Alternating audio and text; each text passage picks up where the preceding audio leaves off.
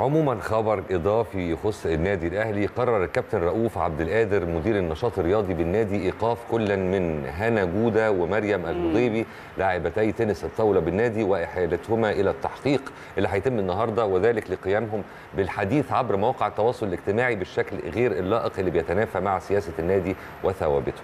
أنا قريت الخبر ده فعلا امبارح بالليل يا كريم. وزعلت شوية آه، لأن هنا جودة يعني وبتتكلم برضو مريم الهضيبي من ال- النماذج عندنا اللي الفتيات المحترفات في. النادي الأهلي وطبعا فكرة إن أنت بتنتمي لكيان معين وكيان زي النادي الأهلي لازم إن أنت كمان كلنا يعني كلنا لازم نلتزم بقواعد معينة طبعا لو حد تجاوزها بيبقى في عقاب زي ما إحنا بنقول لأن الموضوع مش مش سايب بس ف- ف- يعني في باطن الأمر طبعا حاجة تحزننا لأن ما شاء الله برضو هنا يعني من هايلة آه يعني حاجة. جميل كوادر اللي إن شاء الله ليها مستقبل كبير جدا ولكن ربما التحقيق ده اللي هيحصل يخليها حتى آه، تتعلم أو تخلي أي حد يتعلم من أي حاجة زي كده لأن فعلا ممكن خلي بالك السوشيال ميديا ممكن تجر الناس تجر اللاعب تجر أي شخص مهما كان لسكة أو لمنطقة هو في غنى عنها ففي بعض الأحيان إحنا مش حابين إن إحنا إيه يعني ندخل معظم في ده. معظم معظم انعكاسات السوشيال ميديا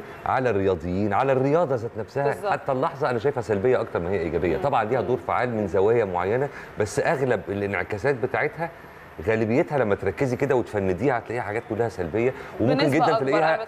ممكن كمان جزء كبير منها أصلا ما يبقاش حقيقي. يعني حاجات حد قاعد بيفتي.